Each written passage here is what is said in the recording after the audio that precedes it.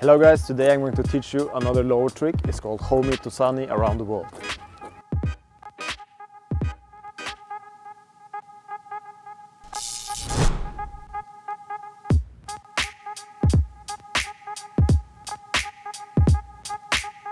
Okay, so the first thing you need to know is that this trick is a combination of outside around the world and hop the world. I made these tutorials before, so check them out.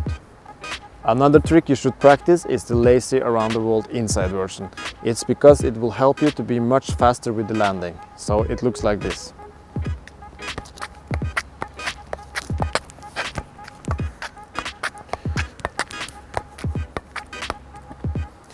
Okay, the most important thing about this trick is timing. So do the trick with both legs in the air and it will look like this.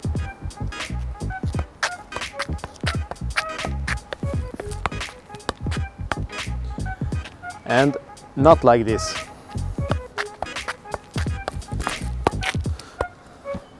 Okay, when you're landing this trick, it's really important to not bend your legs. It will look really bad and it's not really clean. So I will show you this version. Okay guys, that was the Homie Touzani. It may look a bit easy, but it's really important if you want to go to the next level. So if you like this tutorial, thumbs up, leave a comment and remember to subscribe. See you next time.